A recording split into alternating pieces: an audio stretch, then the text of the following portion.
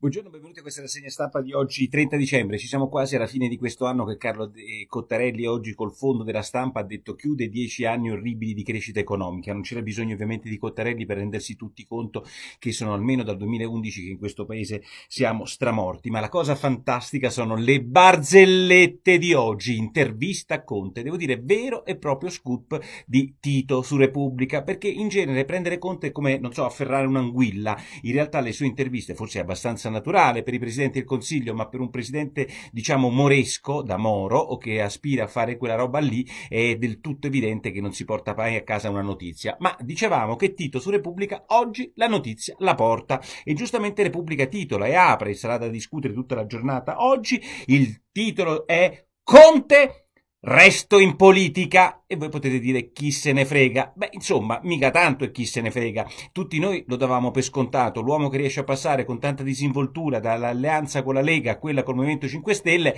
è del tutto evidente che sta puntando a questa roba qua. Ma oggi esplicita il fatto che dopo la fine di questa legislatura, perché lui così sostiene che durerà ancora tutta la legislatura il suo drammatico governo, beh, insomma, continuerà a fare politica. Poi vedremo come. Quindi si squarcia il velo sulle future ambizioni del Presidente del Consiglio unico nei paesi occidentali che fa il Presidente del Consiglio senza essere passato dal vaglio degli elettori ma soltanto essere passato per una stanza d'albergo in cui Di Maio e Salvini, non potendo fare né l'uno né l'altro il Presidente del Consiglio, hanno scelto l'utile terzo incomodo, che veramente incomodo è diventato perché questo incomodo si mangerà il Movimento 5 Stelle e Lega del tutto. E come nota Tito, eh, ci sono varie caratteristiche. Il primo è che sta flirtando con il centro-sinistra più che col Movimento 5 Stelle, l'uomo che abbracciò Di Maio il giorno dopo le elezioni che diede la maggioranza praticamente relativa al Movimento 5 Stelle in Parlamento. E poi sempre più ehm,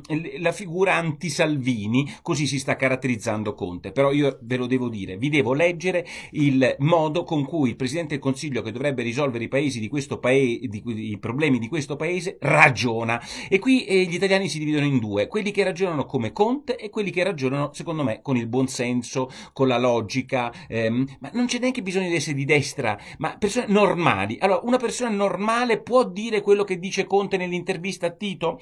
Io devo... Ehm, io penso al presente e non al mio futuro. E, e, in, e, iniziare a ragionare sul futuro, dice Conte, quando si ha un incarico così rilevante, rischia di creare una falsa e distorta prospettiva, perché le scelte vengono fatte per il proprio futuro e non per il bene presente del paese. Ragazzi, questo è, è, fantastico. Cioè, nel giorno in cui dice che il suo futuro è in politica, nelle prime dieci righe dell'intervista a Tito spiega che lui non ragiona sul futuro e lo giustifica perché dice se ragionassi sul futuro le mie scelte sarebbero condizionate dalla mia persona. Ma cazzo me la stai appena dicendo che nel futuro vuoi fare politica? Lo hai ammesso e dici che non ragioni sul futuro. Ma ragazzi, ma vale tutto, vale tutto. Conte può veramente dire di tutto. Ma Aldo Moro gli fa una pippa, stiamo parlando del maestro e noi vogliamo essere governata da questa roba qua. Guardate, io sono fissato ormai con questo libro di Ellis che mi leggo, mi rileggo nei suoi passaggi fondamentali. Qui è la cultura del I like, I like, I like, del consenso, del dire le minchiate che non si capiscono bene ma che suonano decenti. Quindi lotta all'evasione, risolviamo i nostri problemi. Stiamo con Greta perché così se facciamo il New Green Deal, minchia pact, abbiamo risolto i problemi di questo paese. Ma de che? Ma ragazzi, ma di che state parlando? Io la trovo fantastica. È una sardina che si è montata la testa. Ma direi che do troppo peso alle sardine, perché neanche le sardine sono una cosa di quel tipo, ma è decisamente eh, imbarazzante. Ma non tanto che lui pensi a fare politica, l'avevamo capito tutti, ma che lo giustifichi come una specie, cioè, non sono cincinnato, cioè non voglio fare cincinnato. Lui continua a fare politica perché non vuole fare cincinnato, paragonando se stesso al console e poi dittatore romano che se ne andò in campagna. Ma ragazzi, ma questo bisogna veramente che Casalino gli trovi degli infermieri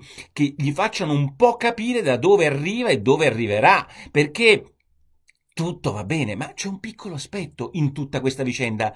Toc toc, i voti? Gli italiani?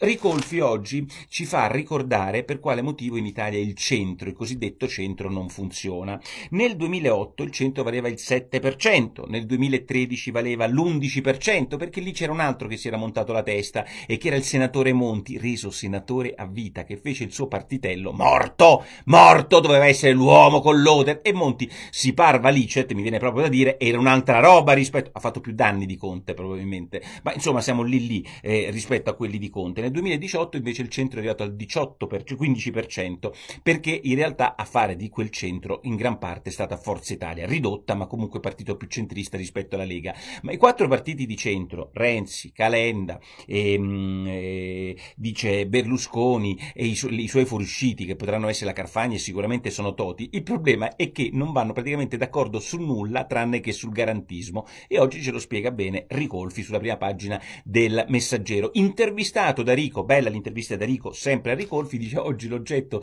dell'odio sociale e degli haters più eh, forte, sapete chi è? Salvini. E questo lo dice Ricolfi, non è che lo dice un salviniano convinto. Salvini invece fa un'intervista a un giornale che certo non può essere considerato a lui ostile, ma è una bella intervista a Senaldi, dice due o tre cose. La prima è che i grillini sono finiti secondo lui e che finirà quello che resta dei grillini e vista l'intervista di Conte è verosimile nel PD e quell'altro pezzettino di grillini non di sinistra andranno nella Lega. Questo dice in una lunga intervista al Libero.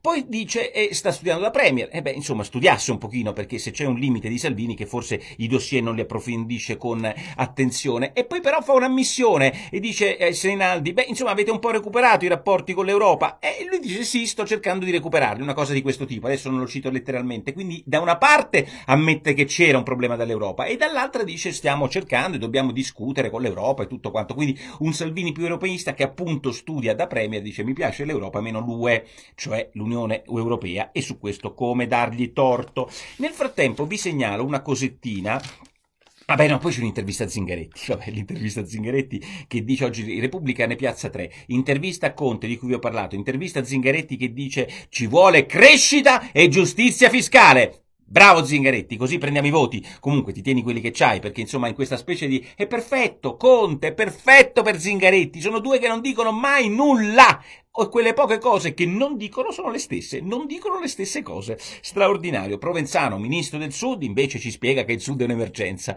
Beh, insomma, ringraziamo Provenzano che ci spiega che il Sud è un'emergenza. Questa legge di bilancio, come titolò Libero l'altro giorno e fu sicuramente insultato, per un terzo gli investimenti pubblici andranno al Sud. Anche questo è un criterio assurdo. Il criterio è come le quote rosa, qua c'è il quote Sud per gli investimenti. Io sono del Sud, figuratevi un po' voi se posso essere contro lo sviluppo del Sud ed è del tutto evidente che se in questo paese donne e sud non lavorano e, e, il paese non crescerà mai. È un banale fatto non di giustizia sociale, ma di giustizia economica, di razionalità economica. Ma l'idea che gli investimenti siano dirottati in funzione della loro eh, qualità geografica vale fino a un certo punto, perché se noi costruiamo cattedrali nel deserto non vale, se noi non abbiamo la, eh, l'alta velocità eh, Napoli-Bari vale, se noi non abbiamo un'autostrada in Sicilia, una strada decente in Sicilia vale, se noi non abbiamo collegamenti con la Sardegna decenti vale, ma insomma non confondiamo confondiamo le infrastrutture sacrosanti con i particolarismi per cui gli investimenti, siccome devono andare al sud purché si spenda, quello serve poco a nulla. Dieci anni.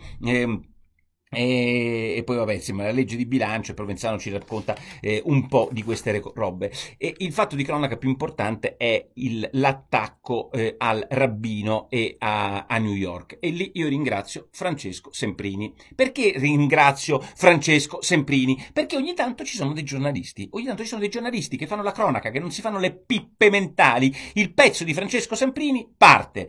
Un cittadino afroamericano di 37 anni cerca, adesso mm, non mi ricordo poi dopo, cerca di ammazzare una, un rabbino e entra con un macete in una comunità, eh, diciamo, di ebrei in, eh, vicino a New York. Quindi parte il pezzo con la notizia. È un cittadino afroamericano di 37 anni. Il resto del mondo Vi giuro! Se voi vi leggete Gad Lerner, sembra che sia il problema quello dei suprematisti bianchi. Questo è un afroamericano! Ma perché devi mettere oggi bianchi? Tanto i suprematisti bianchi di cazzate ne fanno ogni giorno, di delinquenze ne fanno un giorno. Ma un giorno che c'è l'afroamericano! Ma perché ci devi rompere i coglioni con Ku Klux Klan? Sono due cose diverse. Il Ku Klux Klan se lo magna questo afroamericano, che a sua volta se magna gli ebrei. Tra l'altro, eh, è successo poco tempo fa nel New Jersey che altri due cittadini afroamericani prima ammazzano un agente e poi uccidono altre cinque persone in un negozio kosher. Quindi l'idea che ci sia un afroamericano che uccide degli ebrei non è una roba che si inventa Semprini e si inventa la cronaca, è una roba che purtroppo sta avvenendo.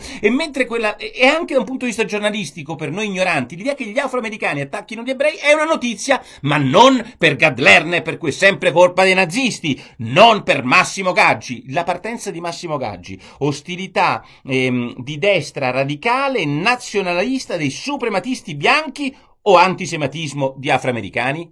Ma di che sta a parlare? È antisemitismo di afroamericani? Ma che cazzo di domanda è che uno si pone nelle prime quattro righe del Corriere della Sera? Se c'è un afroamericano che cerca di ammazzarli, ma perché dobbiamo mettere i suprematisti bianchi che sono già stronzi a modo loro? Ma in questa vicenda? Ma perché li dobbiamo tirare in bene? Come se giustificare, come se mettere, come dire, in uno... Sì, è stato un afroamericano, ma attenti che ci sono i nazistoni. Grazie. Insomma, eh, forse anche Salvini, eh, che li sta ispirando. Eh, è una roba pazzesca, pazzesca. Il Papa contro il telefonino e Zurlo dice giustamente il Papa finalmente dice una cosa straordinariamente sacrosanta. Il telefonino a tavola, ragazzi, non lo usate, parlate con i vostri genitori. E incidenti stradali, la polizia non ci sta, oggi fa uscire i dati sugli incidenti stradali che sono diminuiti rispetto all'anno scorso, ma le vittime restano 1566, esattamente più o meno come l'anno scorso. Sulla vicenda delle due ragazze c'è la Buongiorno che dice non ne facciamo un caso mediatico, detto dalla ex deputata amica di Fini e poi eh, diciamo leghista giornalista che ha fatto quei tweet, che, che, che, ha fatto della sua partecipazione, perché lì era Coppi, alla vicenda Andreotti, diciamo soltanto un grande carrozzone mediatico, viene un po' da ridere che adesso che fa l'avvocato di questi qui non ne facciamo un caso mediatico, lei è l'emblema di quella roba lì. Delle cose serie ne parliamo perché invece il messaggero dice che le ragazze non sono passate sulle strisce e c'è sempre quello là agli arresti domiciliari perché ha ucciso due persone, gravissimo, lo ripeto, ma in realtà queste ragazze scavalcano il guardrail, non, non passano sulle strisce, e e passano col rosso, insomma ragazzi attenzione eh, a fare di tutta l'erba un fascio, i Movimenti 5 Stelle sono nel pallone più totale, ma la cosa più divertente è che il 12% soltanto di loro paga e i contributi che dovrebbe dare al partito. Secondo la legge che si sono dati loro, a me non me ne fotte nulla, se la sono dati loro, e in funzione di questo onestà, onestà, onestà, il Restitution Day hanno preso i voti degli italiani, ma in realtà i soldi non se li danno. Una di loro, la più cattiva di tutte, oggi lo nota eh, eh, il Corriere della Sera o Repubblica, Jana Hen, che lavorava all'ambasciata americana, dura e pura, la più grande, eh, diciamo, moralista del Movimento 5 Stelle, si fa fotografare alle Maldive. Io ci andrei volentieri alle Maldive, sono straordinario straordinariamente affascinato da chi si fa delle belle vacanze e si gode la vita. Anche se è una stellina, una grillozza, non me ne fotte nulla, godetevi la vita che fate bene. Ma c'è un piccolo particolare. Lei sta alle Maldive e nel frattempo è da febbraio che non restituisce 2300 euro al partito. E allora me potrò un po' incazzare, come direbbe il marchese del Grillo, se fosse un elettore del Movimento 5 Stelle. La voto, non restituisce, mi dice che restituisce soldi, non li restituisce, dice prima l'Italia eccetera, se sta in altalena alle Maldive, ecco, io la voto, una che va alle Maldive se prende anche una boccia di Crystal o di Ferrari, ma, lei, ma il Movimento 5 Stelle forse sta roba non la capisce tanto bene, o no? Io trovo abbastanza, poi il fatto ovviamente che cerca sempre di mettere una pezza a duce, sarebbe più facile fare una restituzione forfettaria invece di fare queste restituzioni complicate, quindi è colpa, come dice la ragazza del webmaster, di ti rendi conto, cioè dove rimandano i soldi e non lei che non restituisce i soldi. A me non ne frega niente, ripeto, ma sono ridicoli, ipocriti, cioè il contismo e i grillini della prima ora, fantastico, ci sarebbe da scrivere un, le- libro, Pallotta vende la Roma per il messaggero e l'apertura, 790 milioni per vendere la Roma, Anal altro texano, miliardario e importatore di,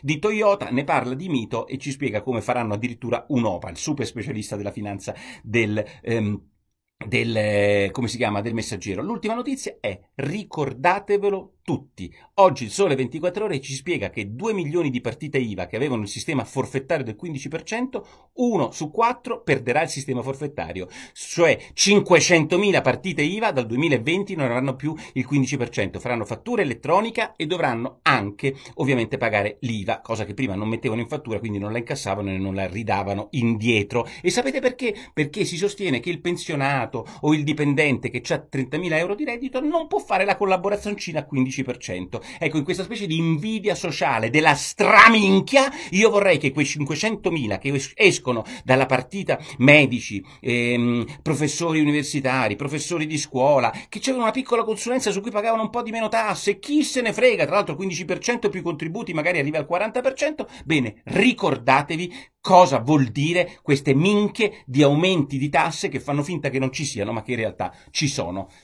Ciao!